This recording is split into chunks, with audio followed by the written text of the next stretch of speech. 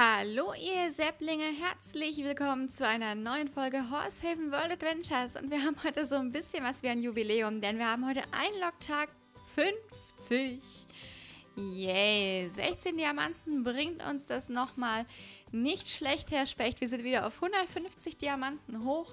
Das ist doch mal ein nettes Sümmchen hier, würde ich sagen. So. Schauen wir mal. Belohnung? Nee, danke. Nö. 400.000, äh, 400.000, 4.000 hm? als Stahlbursche, 40.000 habt ihr wieder gezüchtet. Wow. So, äh, nee, Japan möchte ich gerade nicht reiten. So, wir müssen jetzt erstmal schauen. Wir haben Diamanten bekommen. Und zwar acht Stück, nehme ich mal wieder an. Ja, genau. Und wir haben eine Perle bekommen. Ich hätte gerne einen Rubin. Ich muss mal gucken, ähm, was wollte ich mir denn an Deko nochmal kaufen?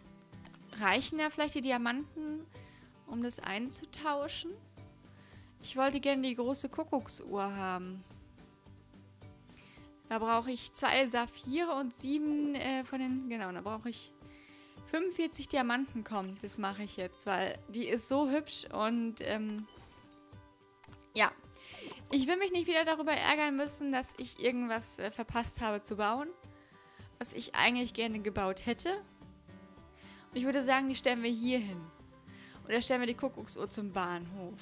Dass man hier so halt die Uhrzeit angezeigt bekommt, wenn man zum Bahnhof will. Das ist vielleicht auch eine Idee.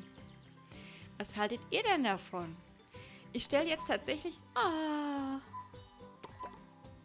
Ach, ernsthaft? Opala. Die macht echt diese Geräusche. Warte mal, muss ich, die, ich muss die nochmal aufstellen.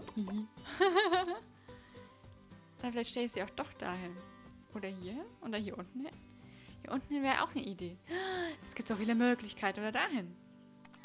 Oh oh. Kack, kack, kack, kack. Ach, die ist cool. Ich glaube, ich lasse sie jetzt erstmal da. Da macht die sich doch ganz gut. So, also, was können wir hier alles machen? Wir missten erstmal aus bei unseren beiden kleinen Folies. So, Nummer 1.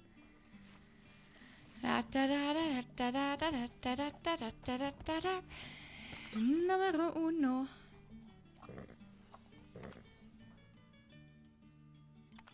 Na na na na na na na na na na na na na na na Roma, Roma, Riberi, Amore mio. Kennt ihr das? Kennt ihr die ähm, erstmal als erstes kennt ihr Matze Knob, den Komiker. Der macht ja auch immer jetzt, macht jetzt den Tuchel nach, den neuen Trainer vom, vom Borussia Mönchen, äh, äh, Borussia Mönchen, von, äh, vom Borussia Dortmund. Ähm, davor hat er den Jürgen Klopp nachgemacht, den Kloppo und äh, er hat eben auch mal Luca Toni nachgemacht, zu dem Zeitpunkt, wo Luca Toni in Bayern gespielt hat. Ja, und äh, da hat er eben so eine, so eine äh, Verarsche gemacht, wo er alle möglichen Wörter, die eigentlich überhaupt nicht Jap äh, äh japanisch, was ist denn los? Die überhaupt nicht italienisch sind, aber einfach mal so, ja, also so, wie man das quasi so, so veräppelungsmäßig halt macht, dass man halt ein O einfach nur dran hängt. Das hat er da gemacht. Ach, schön. Wobei Numero Uno stimmt ja sogar für Nummer 1. Das passt ja sogar. Haben auch ab und an schon mal in unseren Streams gespielt, das Lied. Ähm, ich äh, finde es immer wieder lustig.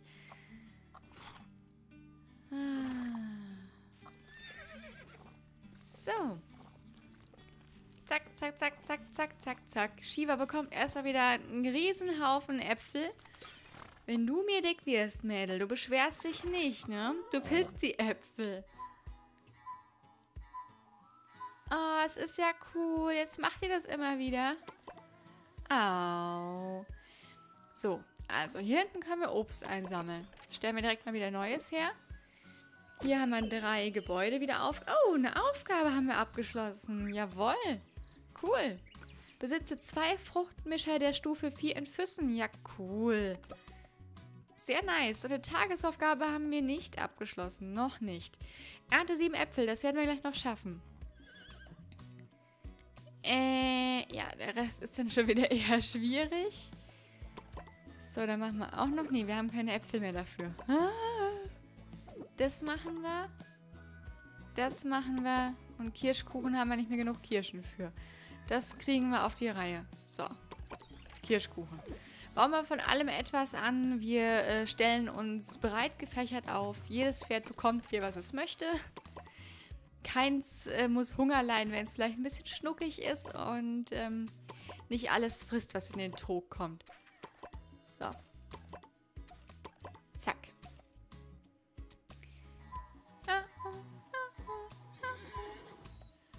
Äh, so, hier machen wir auch direkt weiter.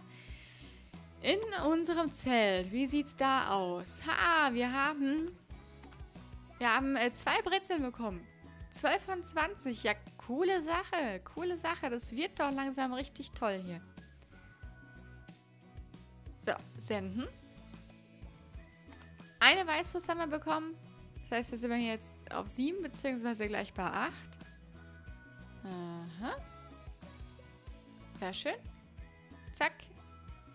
Äh, Senf haben wir leider keinen bekommen. Der Senf ist irgendwie ein bisschen Mangelware, habe ich so das Gefühl. Wobei ich überhaupt nicht weiß. Also ich habe selber noch keine Einladung gesehen, deswegen muss ich erst mal gucken, wie das überhaupt geht. Ja, äh. Aber die Hälfte immerhin haben wir eigentlich schon gut fertig, auch wenn wir uns das hier anschauen. Gucken wir mal wieder ins Quiz rein. So. Im Mittelalter war ein Des Destrier ein Pferd mit dem Zweck Krieg und Unterhaltung reiten. Das weiß ich absolut nicht. Eigentlich hatten Pferde im Mittelalter doch nur Krieg und Reiten. Unterhaltung wüsste ich jetzt nicht. Ich sag mal Krieg. Yay!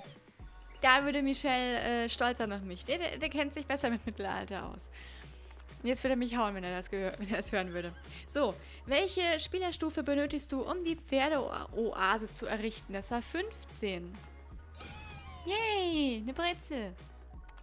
Wie viele Äpfel erhältst du im Spiel, wenn du den Apfelbaum erntest? 4, 3, 5, ich glaube 4. Jawohl, und eine Weißwurst haben wir auch noch bekommen. da ruft der Kuckuck wieder.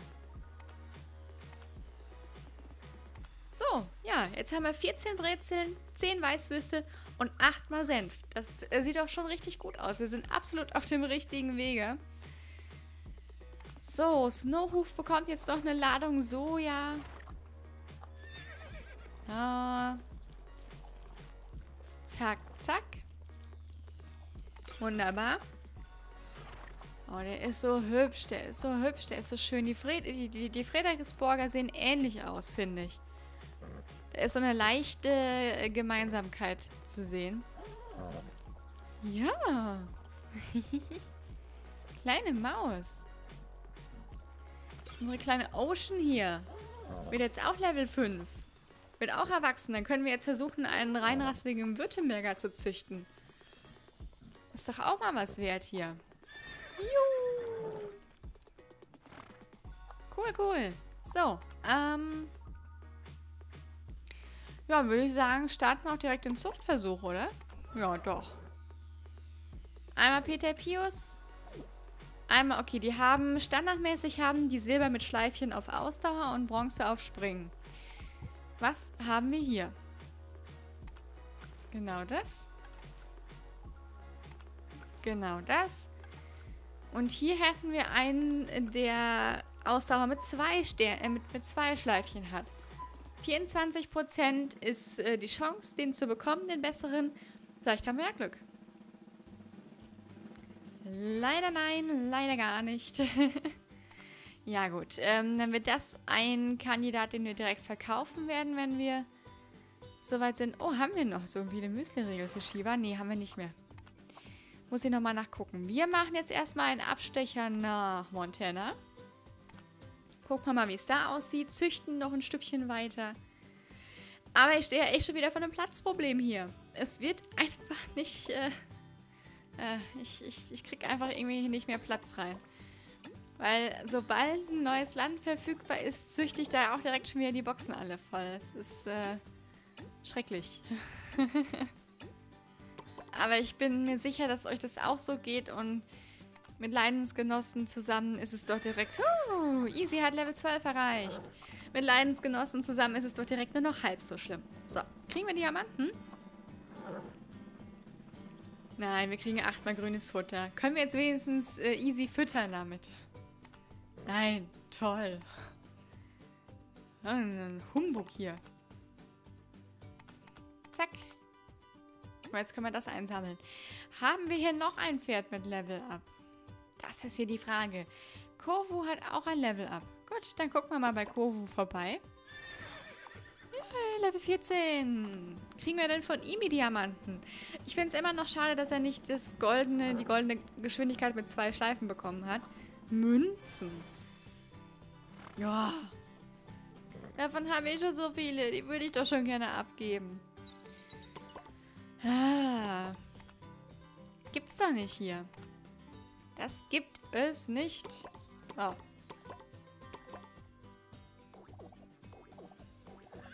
Ach, gucke mal. Ach, ey, gucke mal da. Unser Pferdchen ist schon groß geworden. Hoppala. Unsere kleine Mini. Ganz, ganz knapp habt ihr sie groß gepflegt. Sehr cool. Das heißt, dass wir heute direkt weitermachen können mit dem Shetty veredeln. Besser kann es ja gar nicht laufen. Sehr, sehr schön. Ähm, Simba schicken wir auch direkt wieder trainieren. So, ja, und hier können wir grünes Futter ernten. Dann hätte ich easy rein theoretisch auch füttern können, aber wurscht.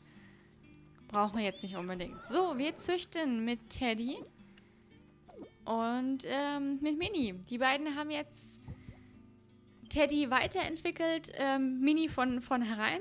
Ausdauer in Bronze mit einem Schleifchen und Springen Silber mit Zweien. Das hier kann nur dasselbe werden. Ist hier Ende der Fahnenstange.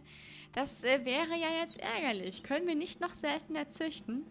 Muss ich mal reinschauen. Das ist äh, schade. Macht nichts. Okay, ähm... Dann sind wir hier auch erstmal schon mal wieder durch. Können wir hier noch irgendwas anbauen, was sinnvoll wäre? Ähm... Möhrchen?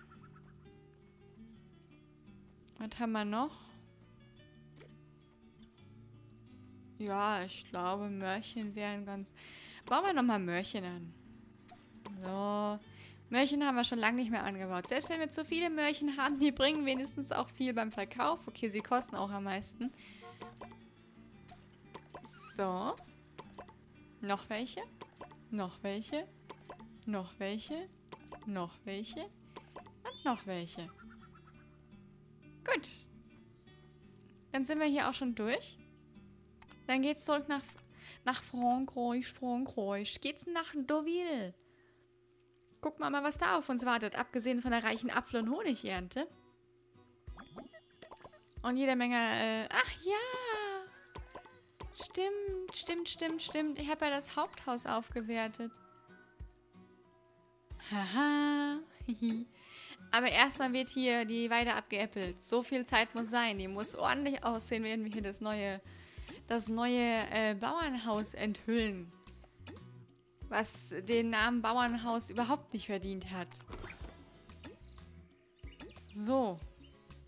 Hochherrschaftliches Gestütsanwesen. So nennen wir das Ganze jetzt. Erfolg abgeschlossen. Besitze ein Bauernhaus der Stufe... Oh, oh, pardon. Besitze ein hochherrschaftliches Gestütsgebäude der Stufe 5 in Deauville. Wunderbar. Schön. Nehmen wir da nochmal ein bisschen mehr Geld mit ein. Und äh, den Erfolg haben wir auch abgeschlossen. Dafür bekommen wir nochmal 8 Diamanten und zusätzlich nochmal 30, nee, 300 Erfahrungspunkte hat das jetzt gebracht. Gucke mal, wir gehen doch... Oh, schon wieder eine Aufgabe abgeschlossen. Stimmt, die Apfelernte, die Tagesaufgabe. Ja, wir gehen doch echt mit großen Schritten auf Level 29 zu. Also ich kann mich nicht beklagen. So. Honig können wir auch noch wieder einsammeln. Wunderbar. Jetzt habe ich ganz vergessen zu gucken, was ich gestern eigentlich hier züchten wollte. Äh, warte mal, warte mal, warte mal. Wir können hier ernsthaft nicht ein einziges Pferd aufwerten. Okay, wir könnten hier zwei, ähm, zwei füttern. Aber das mache ich jetzt nicht. Schicke ich direkt auf die Wiese zum Trainieren, außer Paulinchen. Paulinchen wollte ich ja in die Oase bringen. Da kann sie sich jetzt ein bisschen ausruhen, ein bisschen sich rundmampfen, so. Genau, wir hatten irgendwas mit dem Friesen versucht zu züchten. War das Friese und, und Württemberger durch Zufall? Hm? Verkauf? War das, war der Jütländer? Ich hatte versucht, den Jütländer zu züchten hier. Da bin ich mir sehr, sehr sicher. Äh, Jütländer, Württemberger und Friese, genau. Das war das, was ich versucht hatte zu züchten. Das heißt, wir besuchen Amy wieder. Ich müsste auch mal bei euch gucken, ob jemand von euch vielleicht einen tollen Württemberger Hengst in der Box hat, der bereit wäre, mir vielleicht äh, mit Bella Rose zusammen einen Jütländer Fohlen zu schenken. Aber solange starten wir Macon nochmal einen Beruf ab. Äh, Beruf. Besuch. Es ist, es, äh, was ich manchmal laber, ich meine, wir wissen alle, dass ich viel Blödsinn erzähle, wenn der Tag lang ist, aber dann, hä? Also heute ist ja richtig schlimm. So. Ja. Wir versuchen es mal. 26% Chance auf den Jütländer. Ah, schon wieder so knapp der Friese. Das ist doch nicht wahr. Das gibt es doch nicht hier. Ähm, das beschleunige ich mal ein bisschen, weil ich wahrscheinlich morgen nicht, äh, früher als nur elf Stunden vom jetzigen Zeitpunkt an aufnehmen werde. Nee, gar nicht wahr. Früher als 24 Stunden. In elf Stunden wäre er so oder so fertig gewesen. Er macht nichts. Macht nichts, macht nichts. So, bleibt nur noch unsere Zucht dann... Nee, also was heißt bleibt nur noch? Euch schicken wir erstmal noch alle trainieren. In die Oase schaue ich heute nicht rein. So, und dann bleibt nämlich wirklich nur noch ähm, der Versuch der, Reinrasse, äh, der, der, der reinrassigen Württemberger Zucht in Füssen. Schauen wir mal, ob es klappt, ob es funktioniert, ob wir damit erfolgreich sind. So. Hatten wir ja schon versucht. ich wieder hier. Ich bin eine Pappnase. Ich weiß, ich äh, wiederhole mich. Ich sage das heute schon zum zigtrillionsten Mal. Aber ich bin ja auch eine Pappnase. Ist ja auch so. ah, ein Snowhof hat einen guten Geschmack. Ich liebe Kirschen. Ich esse unheimlich gerne Kirschen. Haben auch immer einen eigenen Kirschbaum gehabt im Garten. Aber da war leider keinen mehr von. Hm. Ja, Müsli-Riegel haben wir gerade keine. Das heißt, Shiva kommt ebenfalls auf die Weide und kann da ein bisschen mit Snowhoof rumtoben. Und damit sind wir auch schon wieder am Ende der heutigen Folge angekommen. Morgen geht's weiter. Und äh, dann starten wir weitere Zuchtversuche. Vielleicht klappt es ja irgendwann mal mit meinen Wunschrassen. Und wir nehmen langsam aber sicher Level 29 in Angriff. Und das ist mir momentan sogar das Wichtigste. Denn... Denn dann kann ich zum Beispiel die Weide hier aufwerten. So, dann verabschiede ich mich für heute von euch, wünsche euch einen wunderschönen Donnerstag und bis morgen. Tschüss!